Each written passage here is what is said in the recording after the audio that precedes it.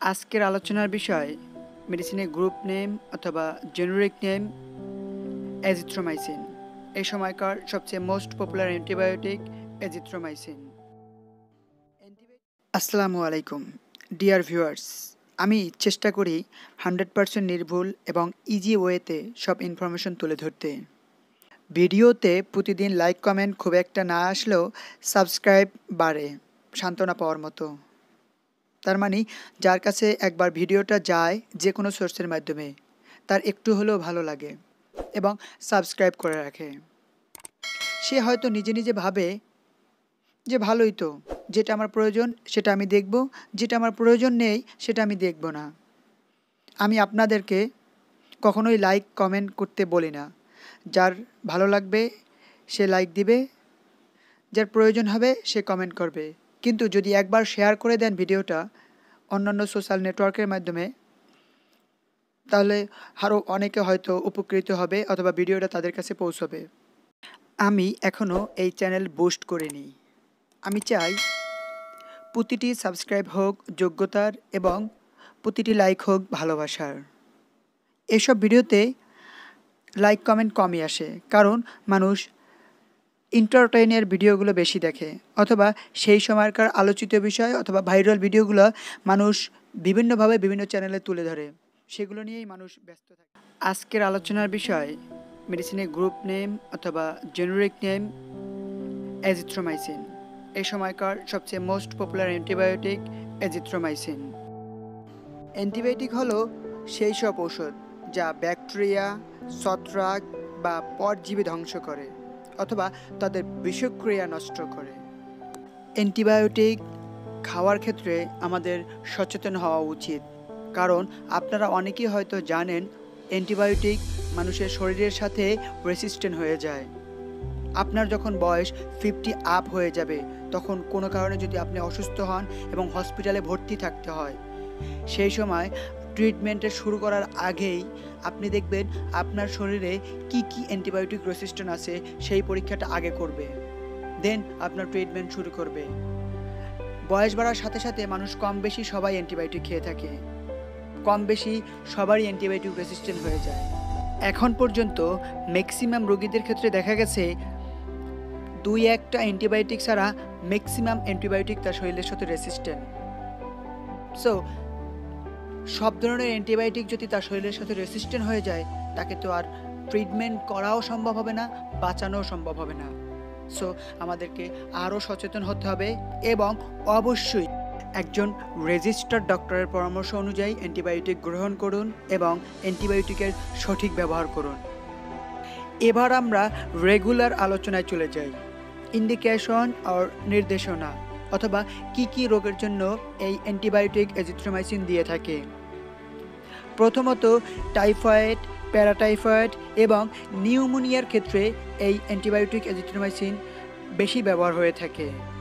এছাড়াও inflammatory bowel disease যার short form IBD সহজ বাংলায় পেটে সমস্যা sexual transmitted disease included gynaecology treatment এই ট্রিটমেন্টের ক্ষেত্রে স্বামী এবং স্ত্রী উভয়কেই এই মেডিসিন একত্রে খেতে হয়।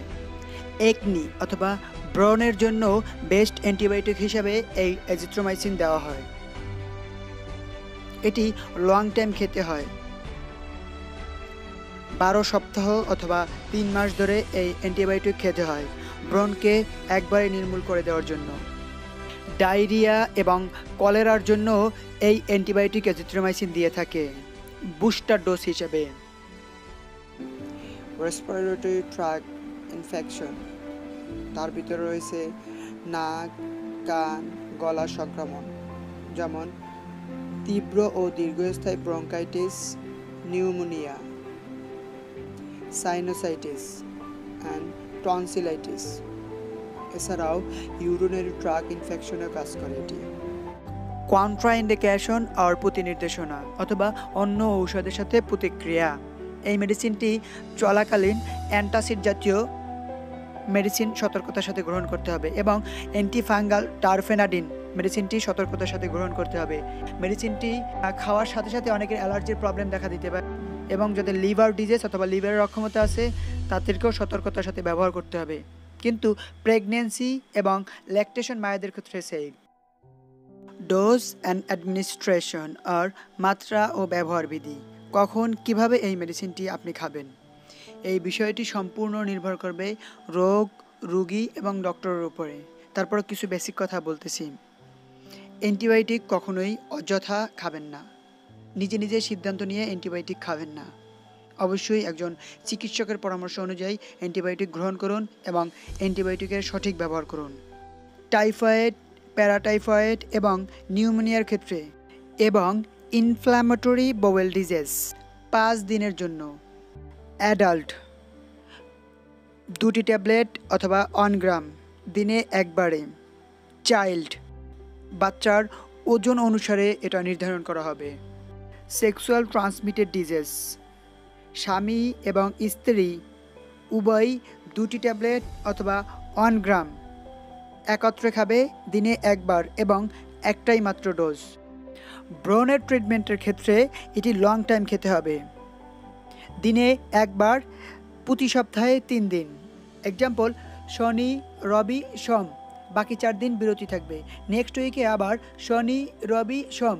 এভাবে বারো সপ্তাহ অথবা তিন মাস মেডিসিনটি খেতে হয়। ডায়রিয়া এবং কলেরা। বড়দের ক্ষেত্রে দুটি ট্যাবলেট অথবা ওয়ান গ্রাম দিনে একবার এবং একটাই মাত্র ডোজ, যাকে বুস্টার ডোজ বলা হয়। আর বাচ্চাদের ক্ষেত্রে ওজনের উপর ডিপেন্ড করবে। ডায়রিয়া এবং কলেরা রোগীদের ক্ষেত্রে রোগীর বর্তমান অবস্থার উপরে ভিত্তি করে ঔষধের পরিমাণ অথবা সময় বাড়ানো হতে পারে। স্কিন এবং skin structure infection, dental infection এবং রেসপাইরেটরি ট্রাক ইনফেকশনের ক্ষেত্রে বা পাঁচশো মিলিগ্রামের একটা ট্যাবলেট দিনে একবার, তিন দিনের জন্য।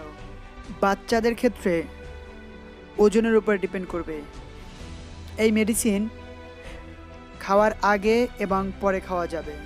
সাইড এফেক্ট অর পার্শ্ব প্রতিক্রিয়া অথবা কি কি উপসর্গ দেখা দিতে পারে এই মেডিসিনটি খেলে। আপনারা জানেন, সব মেডিসিনের ক্ষেত্রে কিছু কমন সাইড এফেক্ট থাকে। ঠিক তেমনি এই মেডিসিনটি খেলে কি কি উপসর্গ দেখা দিতে পারে?